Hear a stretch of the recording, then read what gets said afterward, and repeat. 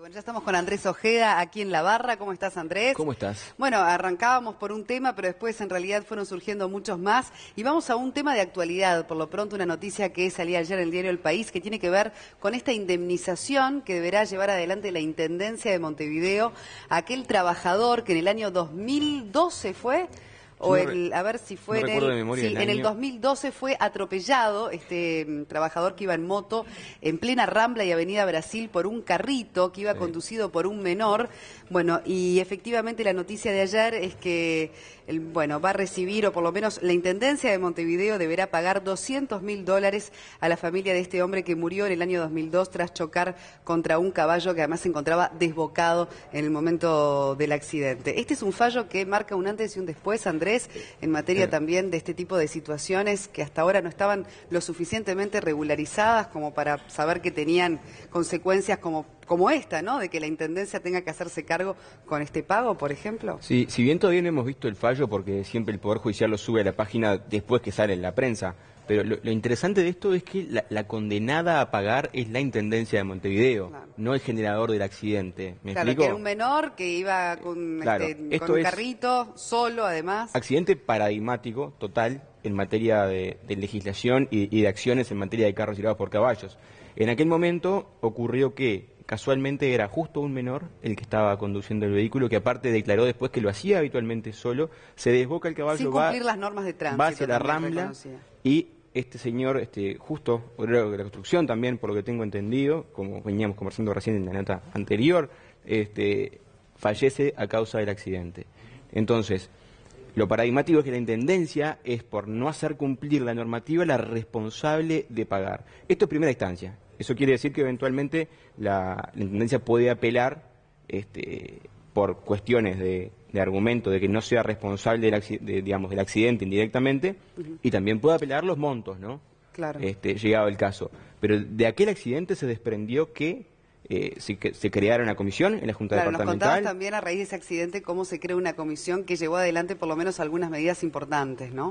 O sea, comisión especial que trató el tema durante un año y medio y logró que, incluso en un frente amplio dividido, una tendencia dividida en materia de opiniones, se, legislara vía decreto a nivel departamental, no de la Junta, sino de la Intendencia mismo, una prohibición de circulación de carros tirados por caballos por centro y Ciudad Vieja.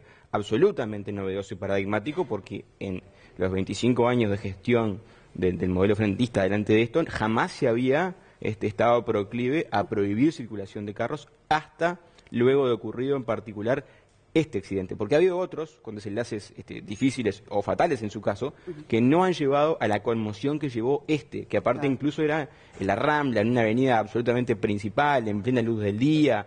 O sea, yo creo que la idea, incluso esto generó que se armaran estas plantas de clasificado, que estamos hoy en dos o tres, que la idea es ir generando más, para que el, digamos, el clasificador no esté más en la calle ni circulando y sobre todo que los carros no circulen y eventualmente que un juez diga que cualquier resultado muerte eventualmente puede ser, por un carro tirado por caballo, puede ser responsabilidad de la Intendencia por no fiscalizar, es un dato absolutamente relevante. Lo que explicaba el abogado de la familia, Guillermo Sáez, eh, es que bueno, lo que sucedió con este joven demuestra una falta de control de los inspectores, de ahí la responsabilidad de la intendencia y de la Guardia Ambiental sobre los carros a tracción de sangre. Entonces, bueno, este es un fallo que es un antes y un después, como les comentábamos, a propósito de la jurisprudencia y que podrá tener, bueno, de ahora en adelante, si esto este, se mantiene así, consecuencias legales.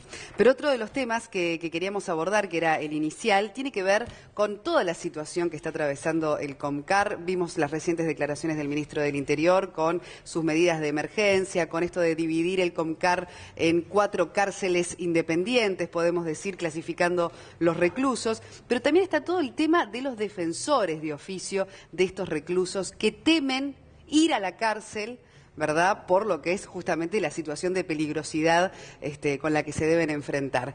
Antes que nada, eh, Andrés, explícanos en primer lugar cómo es este asunto de los defensores de oficio eh, y si es la realidad de básicamente todos los reclusos que están allí, ¿no? Sí, estamos en un momento crítico a nivel sistema carcelario, ¿no? Yo, yo lamento profundamente que tenga que haber treinta y pico de muertos este, para que tenga, para que hablemos a nivel social en serio de estos temas. Yo creo que quizá tenga mucho que ver con que todo, la mayoría de la gente se ve muy lejos o muy lejana del sistema carcelario. Yo permítanme decirles que cualquiera está expuesto mucho más cerca de lo que cree al sistema carcelario. Basta con, de repente, no respetar adecuadamente un cartel de pare, ir hablando por teléfono en el tránsito y tener un desenlace fatal de un accidente para en dos días terminar adentro de un centro de reclusión como puede ser el Comcar o cualquier otro. O sea, ¿qué quiero decir con esto? Es una realidad en la cual, la cual no podemos ni debemos ser indiferentes, porque como decía algún periodista hace un tiempo, la cárcel es el cerrojo de la seguridad pública. Toda la gente que está ahí en algún momento va a salir, porque Uruguay no tiene penas este, perpetuas ni nada parecido. Entonces, todo lo que hace el sistema carcelario pega de lleno en la seguridad pública.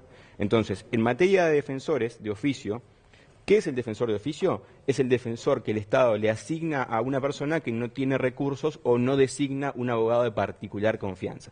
¿Qué quiere decir eso? Cuando llega el momento de declarar, le intiman, designe usted defensor. Entonces, la persona a veces, ¿qué pasa? Al estar este, detenida, por ejemplo, está jugada a lo que haga su familia. Si la familia le consigue un abogado, llega uno y se presenta con su defendido, bueno, mire, mi nombre es tal, yo voy a ser su abogado. Y la persona está sentada ahí para declarar. Ni siquiera tiene demasiada oportunidad en los hechos muchas veces de conversar antes que declare. Pero la mayoría del sistema está previsto por el tipo de delito y por los recursos bajos de quienes lo cometen, porque las cárceles están llenas de gente de bajos recursos y más bien joven, entre 18 y 30 años, que casi todos ellos tengan defensores de oficio. Eso, como todo en el Estado, y lamentablemente termina siendo así, no dan abasto a dar respuesta al, volumen de trabajo que tienen.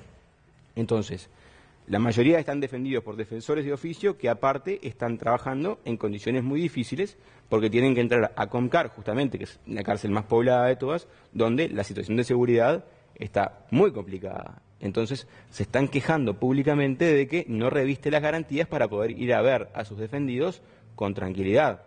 El sistema, por suerte, ahora previó una cuestión de videoconferencias en las cuales los defensores de oficio este, se pueden entrevistar con sus defendidos a través de un sistema de, cámaras por internet, que eso agilita un poco el trámite. hasta ser este, tomados de rehenes, ¿verdad?, en el momento de la visita. Igual no, no hay antecedentes ¿no? recientes de que los defensores de oficio hayan tenido problemas con esto. Yo entiendo las, las preocupaciones, pero para muchísima gente de ahí, su defensor de oficio es la única persona afuera que se está preocupando por ellos. No olvidemos que alguien que es detenido por rapiña es procesado y de repente no tiene familia acá porque es del interior o no tiene trato con su familia. Si el defensor de oficio no lo va a ver, quizá no sabe ni por qué delito está, quizá no sabe qué tiempo le queda, qué puede hacer con su defensa, o sea, su situación. ¿Cómo podemos pretender que alguien se rehabilite cuando ni siquiera tiene demasiada información de su situación. O sea, el rol del defensor de oficio en el actual sistema penal es fundamental, es crítico. Este, eh, acaba de exponer, no sé si serán nuevas o no, estas medidas que supuestamente garantizan esos derechos ¿verdad? a las personas privadas este, de libertad en el sistema penitenciario. ¿no? Me imagino que una de ellas debe ser el, poder contactarse con su este, abogado defensor y, bueno, en un trato este, que hoy por hoy se ve impedido por esto, ¿no? Ellos mismos dicen, nos da miedo ir hasta el Comcar y muchas veces pasan meses sin que podamos conversar con nuestros este, sí, claro. clientes, entre comillas. Es que son, son sus clientes, son sus defendidos. Más allá de que el que pague sea el Estado, eh, son sus defendidos y son sus clientes. Este, yo creo que a mí me, yo miré con mucha atención las, las medidas que anunciaba el Ministerio del Interior en atención a la, a la crisis del sistema carcelario. Recordemos también que las autoridades de INR de ahora son nuevas, ¿no? Hace poco estuvo acá el nuevo director de cárceles, lleva muy poco en el cargo y ya lo están llamando a responsabilidad por cosas que ni siquiera tuvo tiempo ni de adentrarse todavía. Me anuncia 12 medidas, yo miré con mucha atención y me sorprende al ver que son 12 cuestiones que ya e, existen plenamente y que lo más novedoso de esto es proponer su correcta aplicación si se quiere. Uno de los ejes es el acceso a la defensa. El derecho a la defensa es un derecho humano básico, de garantía constitucional y a nivel de pactos internacionales. O sea, el Pacto de San José de Costa Rica habla netamente del derecho a la defensa y del debido proceso. Entonces, garantizarle a la persona que está ahí adentro acceso a su defensa es lo mínimo. O sea, no debería estar ni, ni en discusión la correcta aplicación de esto.